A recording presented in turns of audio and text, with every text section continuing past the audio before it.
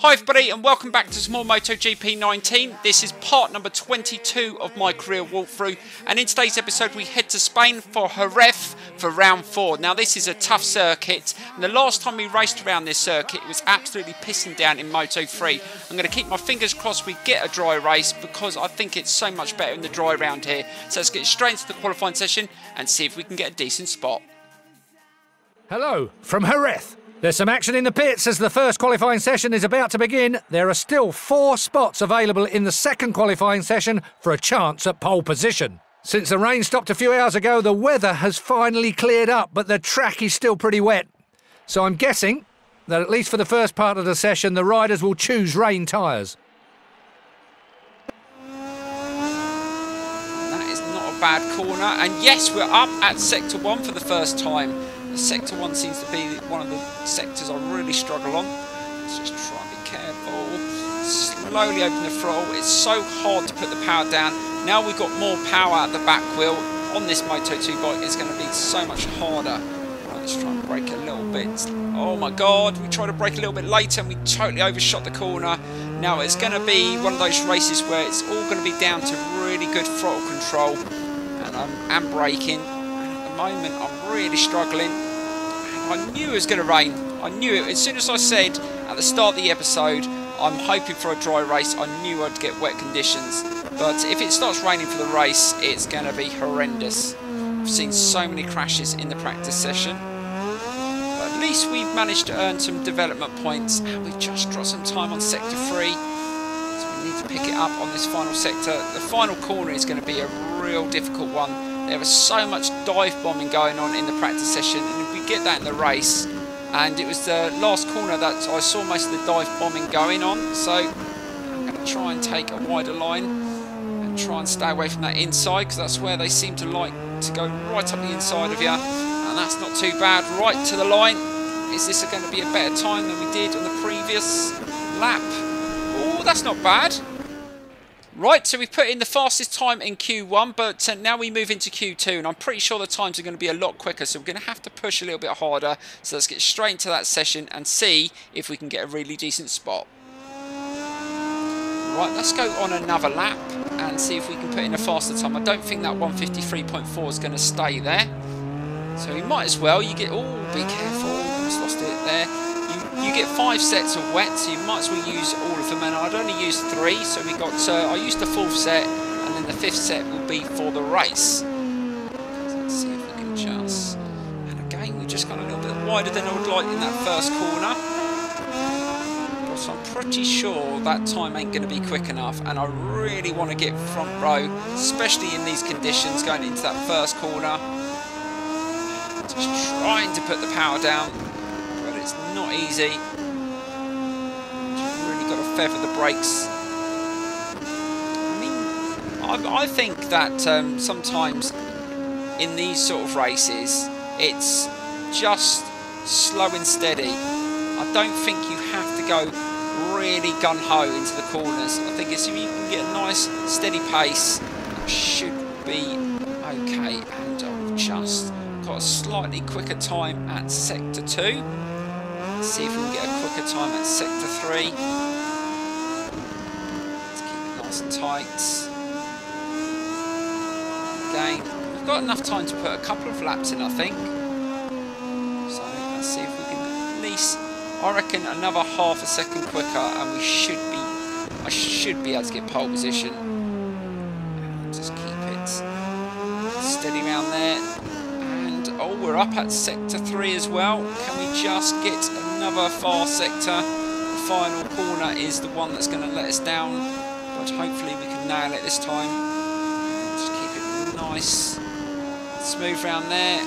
Try not to overdo it. Right, let's brake a little bit earlier. Let's get that front end turned in. And let it turn in nicely and that was much smoother and to the line this is definitely feels a little bit quicker and oh 152.7 now I'm pretty sure that should be fast enough for the qualifying. That's the end of the second and last right so we took the top spot in qualifying with a 152.7 and uh, let's see if we can do it in the race. Is going to be a really difficult one in those conditions but I'm going to try my best. So let's get straight into the race. Hello and welcome to the Jerez de la Frontera circuit. Just a few more minutes before the Moto 2 race at the Spanish Grand Prix finally begins. As you can tell from the footage, we're broadcasting from the track. We're looking forward to great weather for the race. Wow, that's a surprise. We got a dry race. That's thrown a spanner in the works. Well, anyway, let's get straight into it. Starting grid, where riders and engineers are talking over the last few details before the race.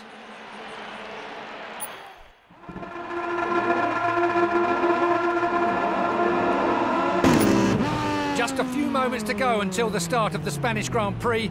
These riders know it will be vitally important to take the first curve perfectly. Right, so here we go with the Spanish Grand Prix around the Jerez circuit in the dry. Let's see if we can get a decent start. And rev those engines, and off we go. Oh, just trying to get a good drive without spinning up that rear, and that wasn't too bad. I will take that. And as you can notice, I've turned all the assists off again. I seem to be a lot quicker. And someone's gone. Oh, Bulliger's gone straight off in the first corner.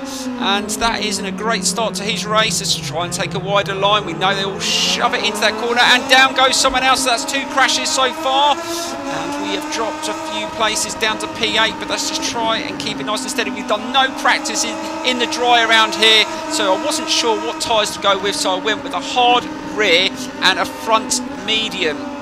So hopefully that's the best compound. It's really, really warm in Spain, so I know that front tyre is going to get chewed to pieces around it. So hopefully we've gone with the right combination.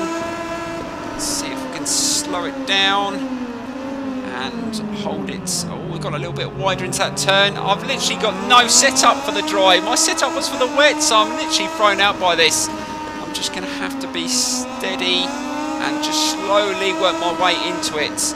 But we're sitting in P4, so it hasn't been a bad start. And it looks like it's Luthi that's leading the GP. That's a surprise. I don't know what's happened to Marcel Schrotter. He's obviously had a really bad start.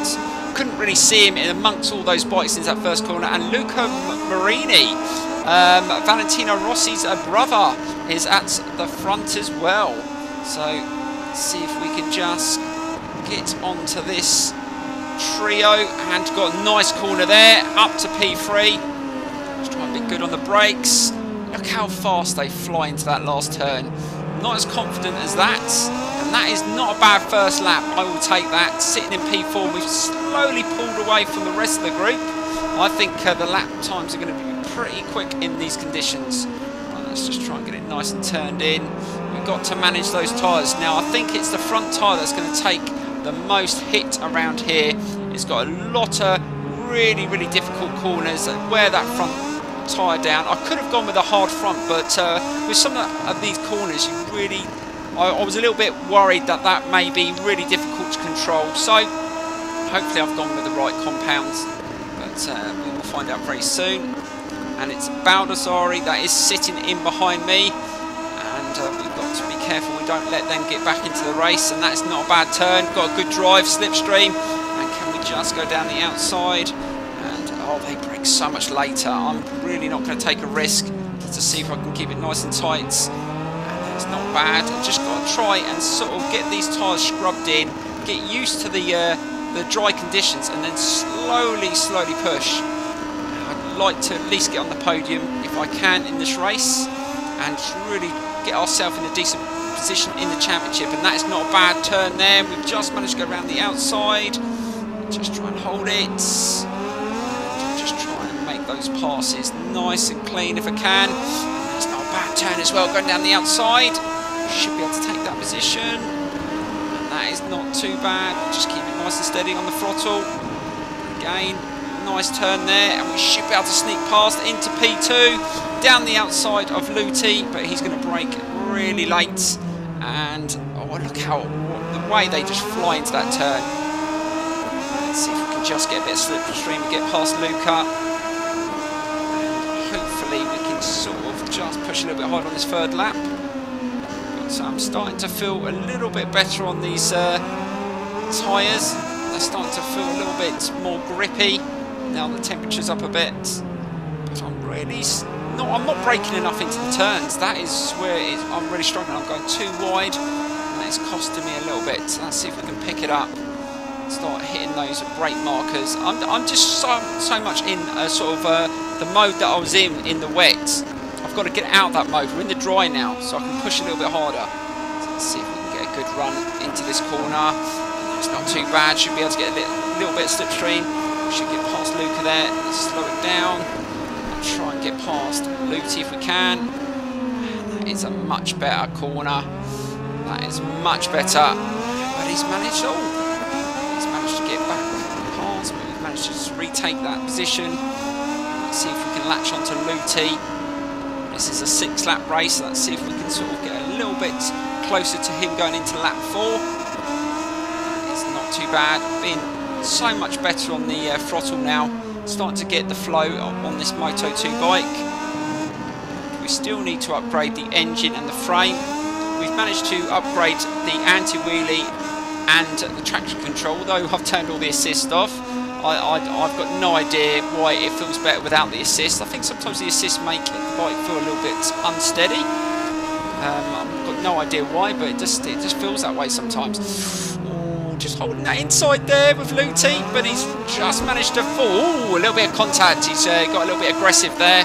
He didn't like that pass, so let's just give him the inside take the outside. We've still got plenty of laps to go.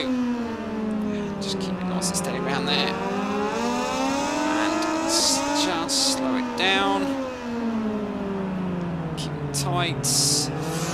Ooh, that front wheel starting to get a little bit of vibration there. It uh, doesn't feel very uh, good round the turn. And as you can see on the tyre wear, the front tyre is actually wearing a lot quicker um, I wasn't sure how much the tyre would wear at the front because I did notice on the wets that the front was going down quicker than the rear. We could have gone with a hard front, but I just think it wouldn't have felt very good. And that is a nice pass, and we've managed to get past Luthi, but he's probably going to beat us on the brakes into this turn. So let's just give him room. And uh, just make sure he doesn't shunt me off. Keep that wide line. We should be able to get a good drive around these next couple of corners and get back past we started to pull away from uh, from Marini. It is good. We've managed to retake the lead. Managing those tyres. Really trying hard not to spin up the wheel. again, we've gone a lot wider, but giving the others room. And as you can notice, even though I've got the anti-wheelie turned off, I'm managing to control it a lot better. So we are starting to get used to this bike Let's keep it nice and tight through there. Oh, that was nicely done. Right, let's try and have a really good last corner as well. Slow it down. Just giving them room so we don't get dive bombed. And that was nicely done. And we are starting to set a decent rhythm now. Going into lap 5. But we've still got to manage these tyres, so let's try and be a little bit careful. It's nicely done again. This is the corner I feel the front tyre really not feeling very... does? I'm getting a lot of vibration. I just feel like the front will go. Yep, it is not feeling that great. So we're going to have to be really steady now. And even if we have to back off the pace a little bit, we've got a little bit of a lead. Not huge. And yeah, oh, I'm telling you what, both tyres don't feel very good. I went really wide into that turn. I just feel like I can't push it too hard. If I push too hard, I'll just slide off. Let's try and be careful around this turn as well. Sort of just let it coast around the turn. That was, oh god dear, the tyres are really not feeling great now. Sometimes uh, you've got to try so hard not to spin up the rear, the rear at all because it wears so quickly, especially in these conditions. And it really does affect you into the final stages. But looking at the grip on the rear, it doesn't look too bad. It's the front that looks most warm, but I'm still feeling a little bit of a, a little bit of a bobble here and there as I'm trying to take it at speed. Right, so we're coming towards the end of the fifth lap. And then we've got one more lap to go. Can we hold on to this? Definitely got some decent uh, breathing space. And that was much better into that final corner. Again, coasting it round. Right, final lap. Just got to stay on the bike. And we're going to take a victory in Spain around the Jerez circuit. Again, just trying to coast it around the turns, not using the brakes. Just slowing it down before the corner and then just drifting round. That's, again, was felt a lot better using a little bit less front brake now just to make sure I don't throw it away. And Schrotter is really far down the order. He's going to drop some serious points and that's going to give us the opportunity to pull away in the championship. It's not too bad around that turn. Come on, Gooner, you can do this. We're really starting to pull away. I'm really surprised. I don't know whether the AI have had the same same problem I've had, where we've practiced in the in the wets, so we're all ready for a wet race, and then it's dry, and it just sort of throws you out. You don't know what tyres to go with. You haven't got a setup but I was expecting them to be really on it in the dry though, I must admit. But as soon as we get in front, they just they've just dropped off. Don't know whether they went with different compounds. Maybe maybe the riders behind me are on soft front and rear, and they're really struggling. Again, that wasn't too bad around there. Front tyre is completely shot A couple more laps around here and I don't think I would have made it, I don't think. Right, final corner. Don't screw it up here. Just coast it round. And there we go! Going to take another win in this Moto 2 season in Spain. And I was really worried about this race. When it was raining, I thought, oh, this is not what I wanted. But then I qualified really well and then it was dry and then it threw me out because I didn't have a setup, didn't know what tyres to go with. But in the end, we took the win, had the fastest lap as well, which is good. Now let's get into the standings and see what's changed. Right, so the final standings, we are on 86 points, 21 points ahead of Schrotter because he dropped some serious points in today's race. And again, we have extended the team championship lead as well by 7 points. So all in all, it's been a really good round. And in the next episode, we head to the Le Mans circuit in France.